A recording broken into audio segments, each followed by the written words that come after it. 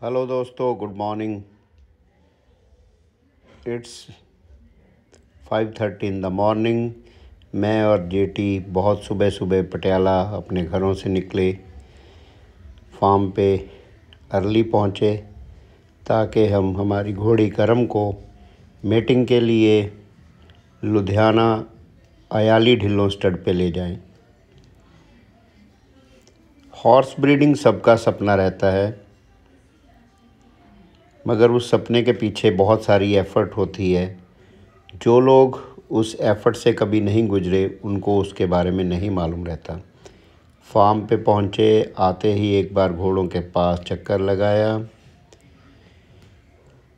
Sunlight आ गई है तो मेरी कोशिश रहती है कि फ़ालतू लाइट कोई भी ना जले।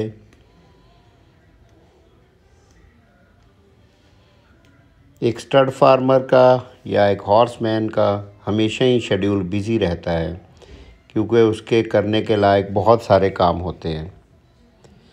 आज पूरा दिन कर्म की मीटिंग में और उसके लिए की जाने वाली एफ़र्ट में जाएगा। जेटी हमारी गाड़ी ले आए हैं जेटी अटैच करेंगे इसको हमारे हॉर्स ट्रेलर के साथ।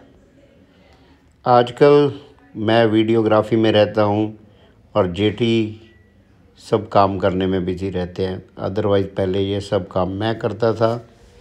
मगर मेरी कोशिश ये है कि जेटी को ज़्यादा से ज़्यादा एक्सपोज़र मिले और वो अपने आप को एक अच्छे ट्रेनर और हॉर्स मैन के तौर पे पॉलिश कर सके। स्टड फार्म में जितने घोड़े ज़रूरी हैं स्टेबल ज़रूरी हैं एक अच्छा हॉर्स ट्रेलर भी उतना ही ज़रूरी है। कमा दे। एक अच्छा हॉर्स ट्रेलर होने से आपका समय और एनर्जी दोनों चीज़ें बचती हैं और घोड़े भी सेफली आप कहीं भी ले जा सकते हैं। हमारा ये ट्रेलर फ़ॉरन के ट्रेलर की बिल्कुल नकल है। साइज़ में छोटा है और गाड़ी से बिल्कुल भी बाहर नहीं चलता इसीलिए एक्सीडेंट का डर और ओवरटेकिंग का डर बिल्कुल कम रहता है। करम वैसे तो एक बहुत अच्छी घोड़ी है मगर जब भी इसको ट्रेलर में चढ़ना हो तो ये थोड़ी परेशान हो जाती है। इसीलिए इसको बिना ट्रेलर के किसी दूसरी ओपन गाड़ी में ले जाना तो पॉसिबल ही नहीं है। एक बहुत बड़ी, मज़बूत और तगड़ी घोड़ी होने की वजह से ये हमेशा हमारे लिए एक डर का सबब बना रहता है कि ये कहीं अपने आप को ज़ख्मी ना कर ले। नॉर्मली आजकल घोड़े भी बिल्कुल सुस्ती से चलते हैं, मगर ये घोड़ी हमेशा ही नाचते हुए चलती रहती है। घोड़े को दूसरे फार्म पे लेके जाना है, इसीलिए उसकी सफ़ाई ज़रूरी है कि अगर आप गंदा घोड़ा लेके जाएँगे तो वो बिल्कुल भी आपको शोभा नहीं देता। और करम काफ़ी बार इस ट्रेलर में चढ़ चुकी है, मगर फिर भी हर बार ये एक पर्टिकुलर समय ज़रूर लेती है चढ़ने के लिए और काफ़ी सारी एफ़र्ट भी इसके लिए करनी पड़ती है। जुगल जी अपने हाथ की एक्सटेंशन के तौर पे इस डंडी को यूज़ कर रहे हैं। गुंडी भी साथ में अपना रोल प्ले कर रही है। कुछ कर ना पाए, मगर वो भी इस इवेंट में पूरी तरह से शामिल है। शेफर्ड की हमेशा ही आदत रहती है। हिलती हुई चीज़ों को पकड़ना स्पेशली जानवरों को घेरना कि वो इधर उधर ना भागे। ये घोड़ी हमेशा ही काफ़ी समय ट्रेलर में लोडिंग के समय ले लेती है। हम लोग भी इस चीज़ से यूज़ टू हैं। लकीली आज युगल जी भी हैं तो ये काम थोड़ा आसान हो जाएगा। फिर भी नए लोगों के लिए घोड़ों को ट्रेलर में लोड करना काफ़ी हेडेक वाला काम रहता है, और ये रिस्की भी है कई बार। घोड़ा उल्टा आ जाए या आपके ऊपर गिर जाए या आपको चोट लगा दे। खैर, जो आज का विषय ये है कि एक घोड़ी को मेट कराने में कितनी एफ़र्ट जाती है। मैं उन लोगों को बड़ा रिस्पेक्ट करता हूँ जो लोग अपनी घोड़ियों को साउथ से, महाराष्ट्र से, गुजरात से, पंजाब में मेटिंग के लिए भेजते हैं। काफ़ी लंबा सफ़र रहता है। घोड़ियाँ ट्रांसपोर्टेशन में काफ़ी सारे मूड्स भी चेंज कर जाती हैं। ये घोड़ी आज जाएगी मीटिंग के लिए, मगर इसकी कोई गारंटी नहीं कि ये प्रेग्नेंट होगी या नहीं होगी, ये कंसीव होगी या नहीं होगी। फिर भी एफ़र्ट्स करनी ज़रूरी है। ब्रीडिंग में मैं मानता हूँ कि आपका लक बहुत मैटर करता है। कुछ लोगों का लक इतना शानदार होता है कि वो पहली मीटिंग में ही उनकी घोड़ी प्रेग्नेंट हो जाती है। समय से बच्चा देती है और बच्चा हेल्दी होता है और वो उसको फोल हीट में ही दोबारा मेट करा देते हैं।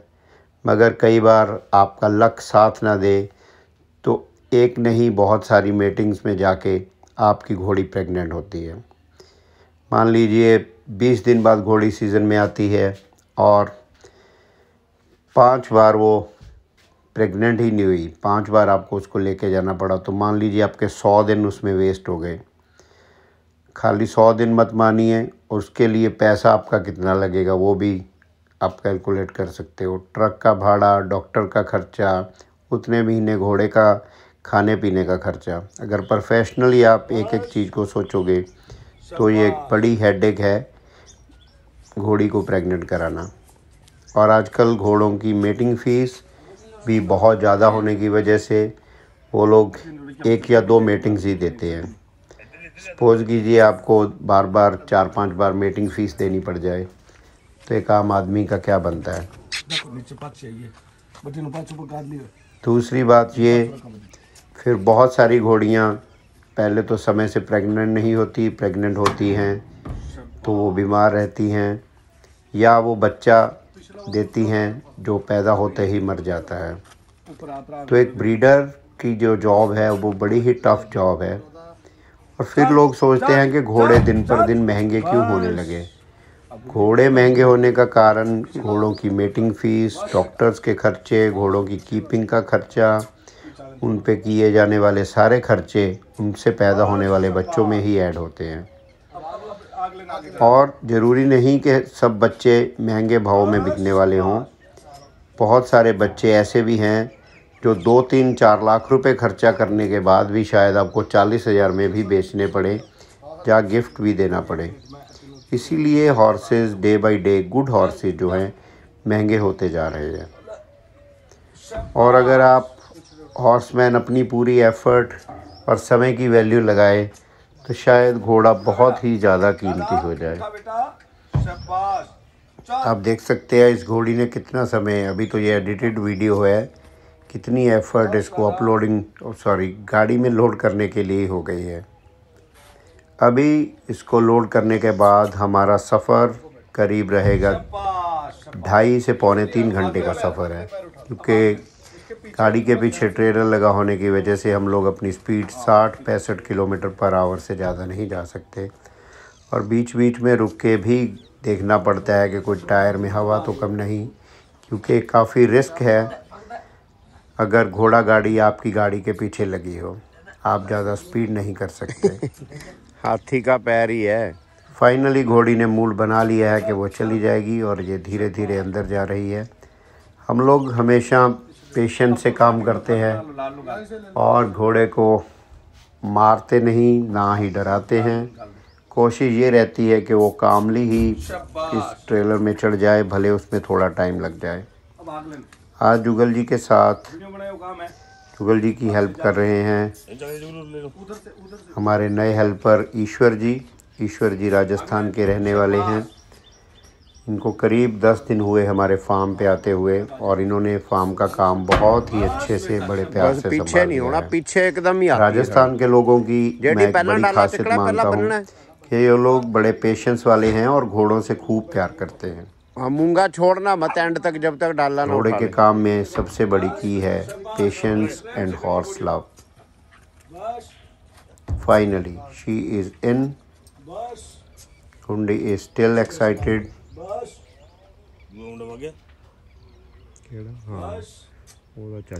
आज हमारे साथ थोड़ा एक और सबक भी मिला। लॉकडाउन का समय चल रहा है। हमारी गाड़ी का एक टायर रास्ते में पंचर हुआ और वो थोड़ा पंचर में चल गया तब तक वो टायर बिल्कुल ही ब्रस्ट हो गया। चार हाँ फिर हमने रास्ते में टायर चेंज किया और पूरे समय यही डर लगा रहा कि अभी फालतू आपके पास स्पेयर टायर नहीं है। तो वो एक डर पूरे समय रहा कि अगर एक टायर और फ्लैट हो गया तो आपका क्या बनेगा? सो घोड़ों की ट्रांसपोर्टेशन हमेशा से ही टफ़ जॉब है, क्योंकि उसमें घोड़े को चोट लगने का ख़तरा हमेशा से बना रहता है। हमारी जर्नी स्टार्ट हुई towards Ludhiana to Ayali Dhillon stud of Sarbjit Singh Ayali हम पहुँच गए अयाली ढिलो स्टड सरबजोत सिंह जी अयाली का ये स्टड फार्म है। इसमें बहुत सारे घोड़े हैं। सरबजोत एक यंग हॉर्समैन है, मगर बड़े एक्सपीरियंस्ड ब्रीडिंग में भी इन्होंने काफ़ी अच्छा नाम कमाया है। और इनका घोड़ा लाल रतन आजकल ब्रीडर्स की फ़र्स्ट चॉइस है।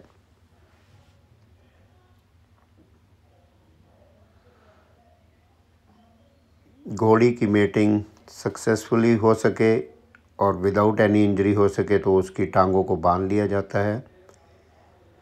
मेटिंग के बाद घोड़ी को हमने थोड़ी देर खुला छोड़ा ताकि हम इसको घूमने दें। कई बार मेटिंग के बाद घोड़ी को भगाया भी जाता है ताकि वो अपने आप को थोड़ा भाग के फिट कर ले। और इसको यहाँ घूमने दिया गया, फिर लौटने दिया गया। उसके बाद हमारा वापसी का सफ़र शुरू हुआ। और आज से करीब पंद्रह दिन बाद पता चलेगा कि ये घोड़ी प्रेग्नेंट है या नहीं है। सो एक ब्रीडर की जो एफ़र्ट है एक बच्चे को पैदा करने के लिए, ये उसमें से कुछ छोटा पार्ट है। इसमें बहुत सारी बातें अभी बाकी हैं। जो घोड़ियाँ रिपीटर होती हैं, उनके लिए क्या किया जाए और कितनी पेशेंस चाहिए इस काम को अंजाम देने के लिए।